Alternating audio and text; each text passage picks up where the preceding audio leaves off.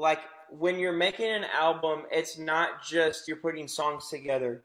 You're deciding what you're going to be talking about for the next two years. And so when I thought about what message do I want to carry into people's lives for the next two years, it was that now is not forever. Mm. Sometimes we try to use now, we use what we know about now to frame what we know about forever. Yeah.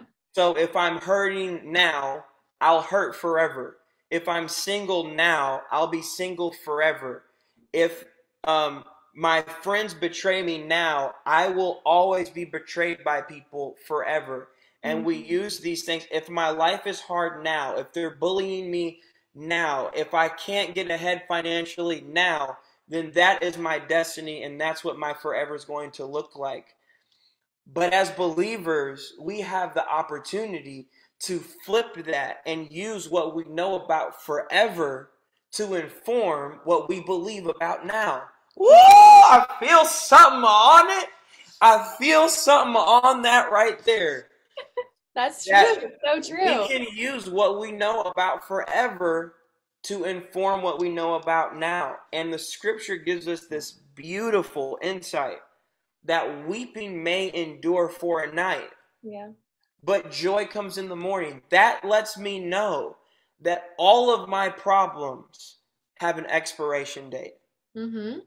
That whatever I am walking through right now, I don't have to carry with me for the rest of my life or into eternity.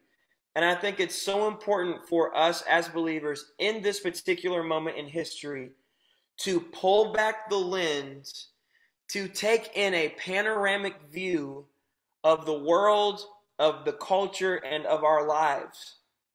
And to know that there is a reality beyond this reality. Yeah.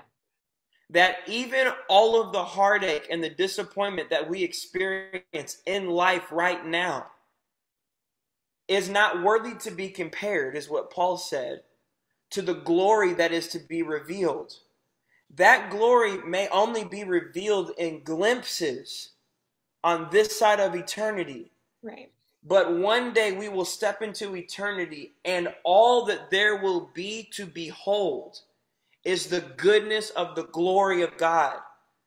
And it's a place where there's no weeping, there's no sadness, there's no sickness, there are no funerals, in fact, it's the place where the dead in Christ rise and they get to be seated next to Jesus.